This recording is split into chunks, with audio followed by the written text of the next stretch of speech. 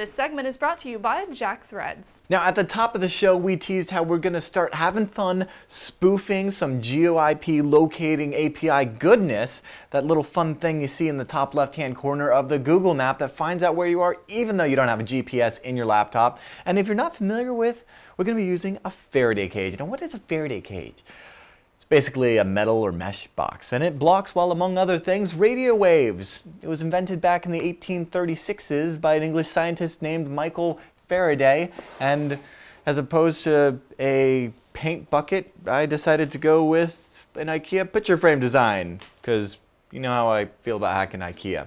Anyway, um, first and foremost, before any before we go any further, stand down ham radio operators. I know this is not absolutely the best. Uh, in fact, this is my Rev 1 of, uh, of my Faraday cage. But as you can see, I fit two radios in a box, and I've basically um, folded a whole crap ton of tinfoil until it blocks everything out. You do, you know, a, a, a uh, IW list. Uh, your interface and then you grep for ESSIDs and you see nothing. So it's like, woohoo!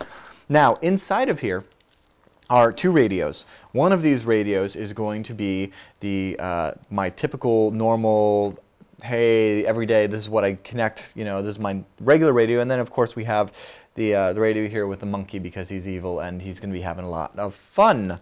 And they are going to live in this box together and they will not be able to see anyone else. That's the idea, okay?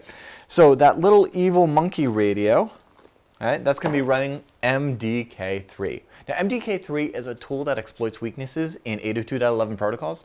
It was created by ASPJ with the help of the ICRAC NG team and their libraries, of course. And MDK3 can be found over at Pedro Larig's homepage and is built into the latest version of Backtrack from backtracklinux.org. You guys know I love that tool. So in with this, using uh, MDK3, we're going to try the beacon flood attack mode and information that we've gathered from wiggle.net. We can head over to wiggle.net here.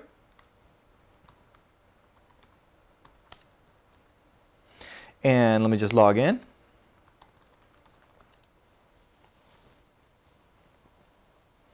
And using Wiggle.net, which is a uh, just a database of you know people have come together to go ahead and, and share their war driving finds. They support uh, uploads from you know NetStumbler, MiniStumbler, Kismet, uh, a whole bunch of other awesome tools. And what's so great about this is we can come down here and say search, and we can say I don't know uh, 5412 Haran Court. Uh, state is Virginia, zip code is 23188, and say query. And yes, I'm harkening back to the hack house. Ah, sometimes you miss Williamsburg, mainly just for the cheese shop. But, uh, but here we go. I have a listing of the BSSIDs and SSID names of uh, wireless access points that were in the vicinity of the address that I gave it, including Here's one down here. Uh, Williamsburg, Patriot Net, Victor's Pizza and Deli, BS Williamsburg. I don't know what that's all about. Um, one of them in here is the Pineapple House, which was pretty cool. Next to a astronomically delicious pancake house. Anyway, so what I've done here, and let's let's head over to my console uh, and cat my um, WMBG .txt, you can see that I've added the BSSIDs or MAC addresses of and the SSIDs um, of the networks that were in that area. Okay, so that is going to happen on the monkey radio in my Faraday cage while the other radio is just chilling. And um, we're going to use, here I've got this in a screen, we're going to use MDK3 and we're going to use mode B for beacon. And we could do like a, um, we could do, what is it, tac tac help B to find out more about, or what is it, um, it's not tac tac help, but, uh, well, you can do MDK3 tac tac full help and pipe that to less. And you can come down here and find out about the different test modes. B is the um, beacon flood mode, and we can see that there are various different options, one of which being TAC-V. It reads MACs and SSIDs from a file, and of course, we have a file over here with just that. Now we can do all sorts of other fun things. Remember, I said that uh, these geo these uh, these databases basically map you to nearby access points based on the characteristics of those access points. So we're talking not just the BSSID or the SSID name of the network, but also you know things like what channel is it on, um, you know what kind of encryption is it using. Now, mind you, these things may change, but overall, if you've got a big enough data set, uh, things should be relatively same you know, from, from year to year, or at least you would hope so on uh, access points. So I know that I think there's this this entire concept is kind of a hack, and that's why I'm trying to hack it. So let's see if we can spoof this now using MDK3. And uh, what interface are we going to use that on? Well, I've already brought up Mon0 using AirMonNG. Uh, in fact, I can just AirMonNG, and I can see I have Mon0, and uh, that is based on my WLAN2 interface, the monkey one in there. And I'm just going to go ahead and um, say B and then TAC V and then my Williamsburg TXT file.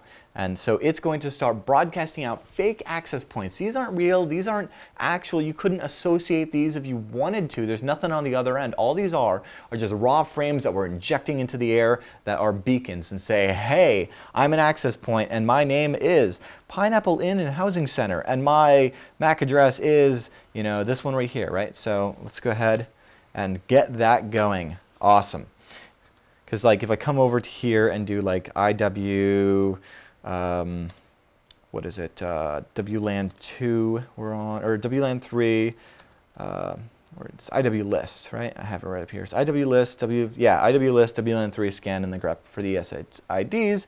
We're going to see the uh, networks in the area. So there we go. We have successfully created an environment within this box um, where as far as the computer should be concerned, it's seeing what it would expect to see around that area in Williamsburg. So I'm going to go over to Google Maps now, and let's see about clicking this little button in the top left, My Location. I'm going to go ahead and hit that, or let's, let's hit that to find it. Yeah, that's what I was afraid of. Here, let's zoom out. Let's go to the center of the country and it's snapping to this area. That's what I was afraid of. Now if I try again with this sample, and I'm going to go ahead and clear my location data by saying clear for future visits. This is just a little bit of JavaScript that will attempt to pinpoint me. And if I just go ahead and refresh this page, and it's going to say, hey, do you want to track your physical location? And I say allow. And yeah, it's saying Richmond, California. That's where I'm stuck. What a bummer, right? I mean, we've simulated everything else, so something isn't quite going right here. I've disabled the uh, WLAN 0, that's uh, the internal wireless network card in this machine. I, I, you know, I guess I could have just built a bigger Faraday cage, run an Ethernet cable out of it, VNC'd into this machine.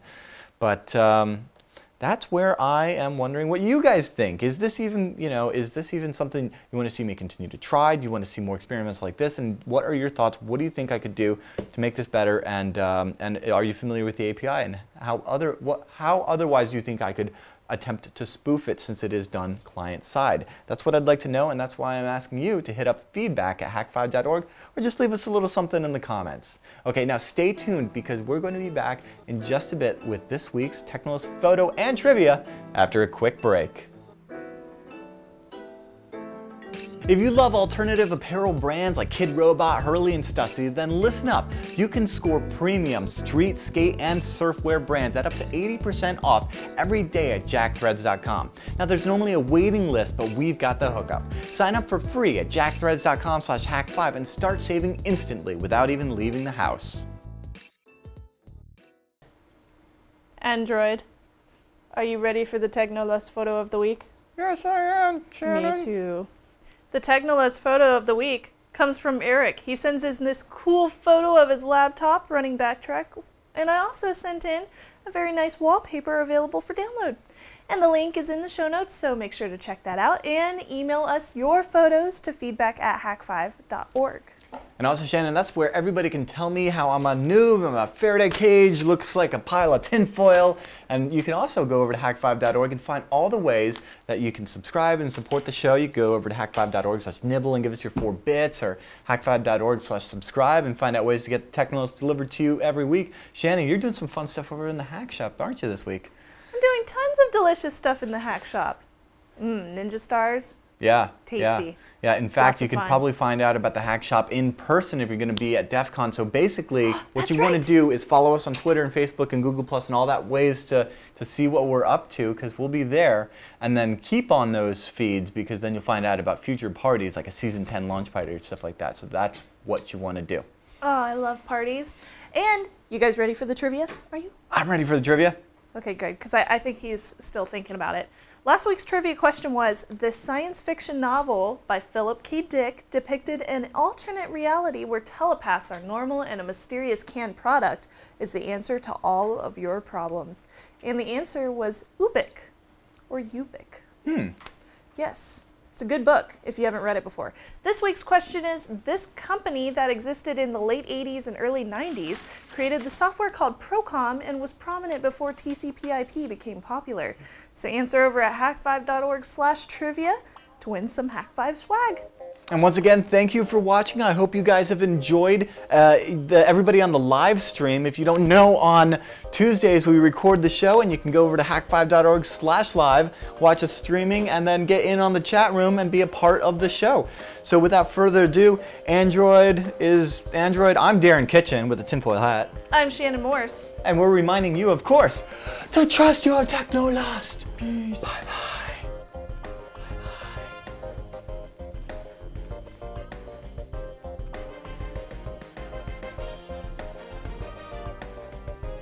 My mic is on. Incoming. Do that on the show. Team powered! No, let's go check the network closet for Cat 5. So I don't forget, because I always seem to forget. Huh? It's full of kittens! Kittens! Watch out for those aliens. Aliens, aliens! What? It's all about the bang dollars, yo! Hooray! Alright. I just made that up.